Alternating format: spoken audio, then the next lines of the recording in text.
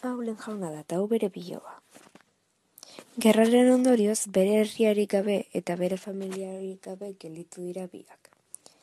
Eta beraien herria itxasontziz guztea behartuta izan dira, itxasontziz hiri berri batera joanez. Han, errefuxiatu etxe batean sartzen diet, beste pertsona eta familia batzuekin. Egun batean lehen jauna buelta bat ematera ateratzea erabakitzen du. Eta nekatuta dagoenean, banku batean eseritzen da eta bark jauna zautzen du. Bark jauna eta lehen jauna geroz eta konfiantza gehiago hartzen dute. Eta oso lagurak egiten dira. Lehen jauna bark jaunari zigarro paketeak ematen dizko. Eta bark jauna lehen jaunari jatetxetara gonbidatzen.